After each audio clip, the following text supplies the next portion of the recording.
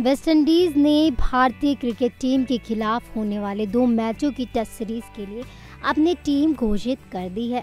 दो मैचों की इस सीरीज़ के लिए क्रिकेट वेस्टइंडीज के अंतिम चयन सीमित ने कुल तेरह खिलाड़ियों को चुना है। आपको बता दें, विस्फोटक बल्लेबाज क्रिस गेल को टीम में जगह नहीं मिली है, जबकि स्पिनर रहकीम कॉर्नवाल को पहली बार टेस्ट स्क्वाड में शामिल किया गया है। दाएँ हाथ के ऑफ़ ब्रेक गेंदबाज और बल्लेबाज कॉर्नवाल इंडिया के खिलाफ पहली बार इंटरनेशनल डेब्यू करेंगे? अभी तक ये क्रिकेट घरेलू मुकाबलों में अपनी प्रतिभा का बखूबी प्रदर्शन किया था।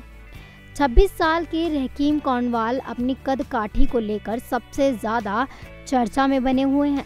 6 फीट 6 इंच लंबे और 140 किलोग्राम इनका वज़न है।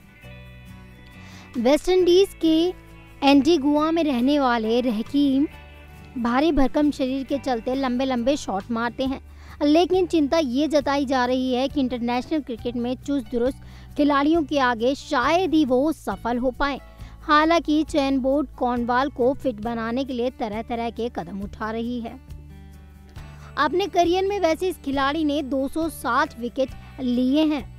कॉर्नवाल ने अब तक घरेलू मैचों में 23 की प्रतिभाशाली औसत से 260 विकेट निकाले।